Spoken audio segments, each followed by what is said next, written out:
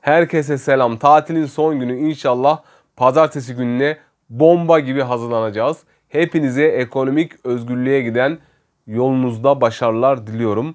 Daha çok ve daha azimli bir şekilde çalışarak bahaneler değil çözümler üreterek yolumuza devam edeceğiz. Ekonomik krizler, savaş tehlikesi, hayat pahalılığı hiçbirisinin sizi yolunuzdan çevirmesine izin vermeyin.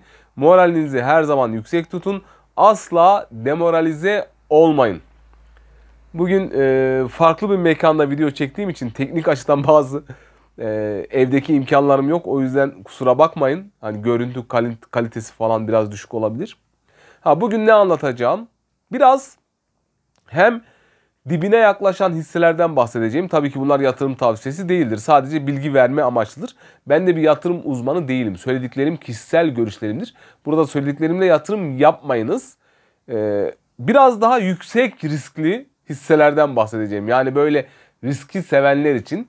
E, işin içinde risk olduğu için de e, toplam sermayemin %4, %5'i kadar e, bu hisseler için yatırım yapmayı şahsen planlıyorum.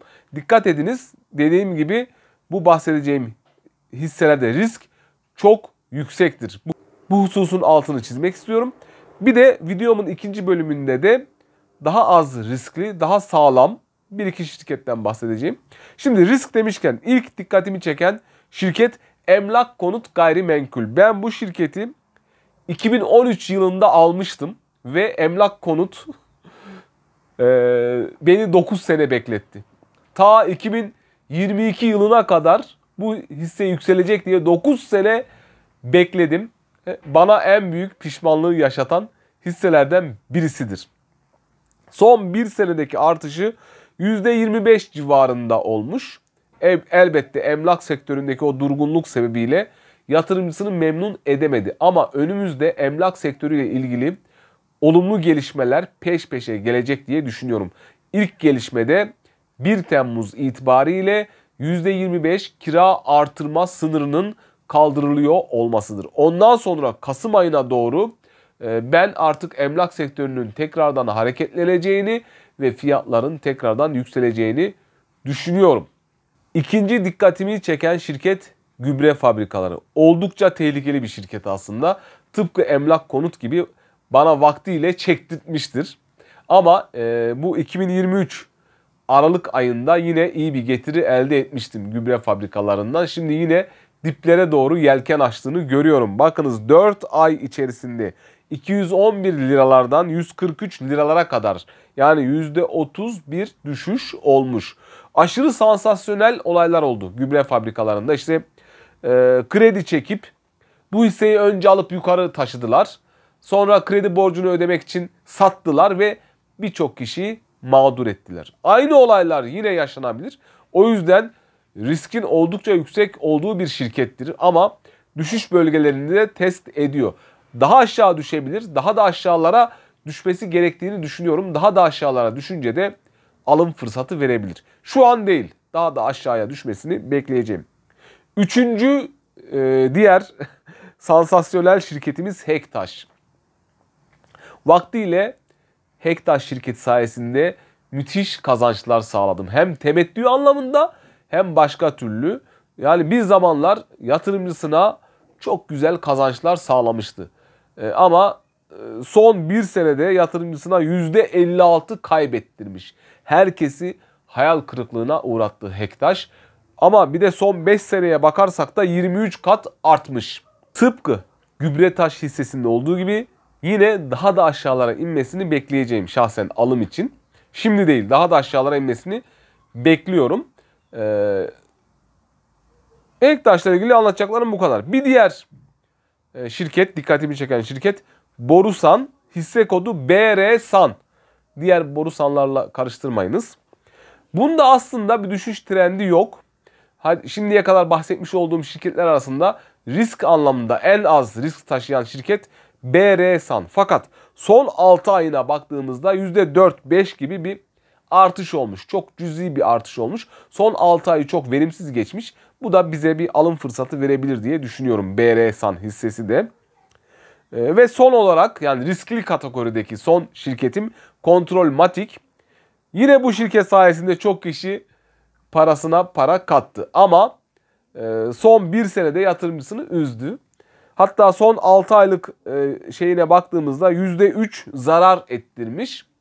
E, sadece kontrol matik değil aslında. Enerji şirketlerinin büyük bir çoğunluğu böyle geçirdi bu son 6 ayı. Ama ben e, kontrol matik gibi diğer enerji şirketlerinin de Ekim-Kasım ayı gibi atağa geçebileceğini düşünüyorum. O açıdan da kontrol matik dikkatimi çekti. Yine daha da aşağı seviyelere inmesini bekleyeceğim. Daha da aşağı seviyelere inince bu da alım fırsatı verecektir diye düşünüyorum. Tabi bunlar benim kişisel görüşlerimdir, bilgi verme amaçlıdır. Gidin bunları alın demiyorum. Şimdi gelelim daha az riskli şirketlere. Aslında şirket demeyeyim de bir sektör, sektörden bahsedeceğim. Perakende sektörü. Perakende sektörü e, riskleri içerisinde daha az barındırıyor. Ve ben şu an zaten aslında yüksek fiyatlarda baya bir artış var ama ben daha da ileri gidebileceğini düşünüyorum. Burada da biraz aslında risk alacağım. Çünkü perakende sektörü büyüyor. E, bu perakende şirketlerinin bilançoları olumlu geliyor. Ee, ve yıl sonuna kadar da böyle daha da ilerlere gidebilir. Ben ne yapıyorum? Yavaş yavaş kademeli alım yapıp bekliyorum. Yani şöyle benim çok büyük hedeflerim yok. Hani işte ben bu sektörde hisse alacağım, çok yüksek olacak falan gibi öyle çok büyük hedef beklentilerim yok. Mesela Migros. Hani ben eski bir Migros çalışanıyım. Belki bilmiyorsunuz. Yani yeni takipçilerim bilmez de eskiler bilir. E, Migros'ta üniversitede hem öğrencilik yapıp hem de Migros şirketinde çalışıyordum. Part time olarak. Sebze meyve reyonuna bakıyordum. Ee, çok kaliteli bir süpermarket. Yani ben bir süpermarkette çalışacağım, hangisinde çalışayım diye bana soracak olursanız gidin Migros'ta çalışın derim. Ha şimdi der miyim? Şey el değiştirdi. Ee, şimdi de çalışılabilir aslında. Hala o kalite aslında devam ediyor. Ya da büyük devasa gross süpermarketler var ya. Ankara'da şey var. Metro, Gross falan var. Böyle bu tip süpermarketler aslında çalışmak için daha iyi. Çünkü küçük süpermarkette çalışınca size her işi yaptırırlar. Ama büyükte çalışınca belli bir işiniz olur. Sadece onu yaparsınız. Ha, çok bana e, şey geliyor, mesaj geliyor, soru geliyor bu süpermarketlerle ilgili de. E, yani Migros'un yüksek kar hedefleri var ve dikkatimi çekiyor dediğim gibi. Ama hani çok yine çok büyük bir beklenti içerisine girmeyiniz. Düşerse düşüş az olur ama çıkarsa da çıkı yani yükselme de az olur ona göre. İkinci yani perakende sektöründeki dikkatimi çeken şirket BİM süpermarketleri. Zaten beni takip edenler biliyor. Ben aylık düzenli olarak BİM hissesi alan birisiyim. Ama onun dışında ayrı bir bütçeyle yani işte yüzde bir, yüzde iki öyle bir bütçeyle şu dakikadan itibaren hani BİM süpermarketi alabilirim. Çünkü son bir senede %240 kadar bir artış var. Ha, daha da artar mı? Artabilir. Ben bu riski almaya devam edeceğim. Asla bunlar yatırım tavsiyesi değildir. Sonra bir de şok market var. Ee, ama şok market Migros ve BİM kadar parlak görünmüyor. Ha, o, o zaman nasıl bir yol takip edebilirim? Hani tüm sermayeyi tek bir şirkete vermek yerine şöyle ben kendim şahsen şey yapacağım. İşte 10 bin liram var. 4 bin lirasına BİM, 4 bin lirasına Migros, 2 bin lirasına Şok Market. Hani bunun gibi bir dağılım yapabilirim. Ee, çünkü Şok Market'i birazcık daha geriden takip edecektir e, perakende sektöründe. Neden öyle? Çünkü Şok Market'te yabancı yatırımcı sayısı az. Yabancı yatırımcı genelde Migros ve BİM'i tercih ediyor. Tabi bunlar benim kişisel yorumlarımdır.